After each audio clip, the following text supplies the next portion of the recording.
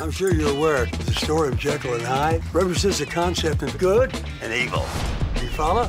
No, I don't. You can do an improv with Gary Busey. I think that he finally like arrived as an actor.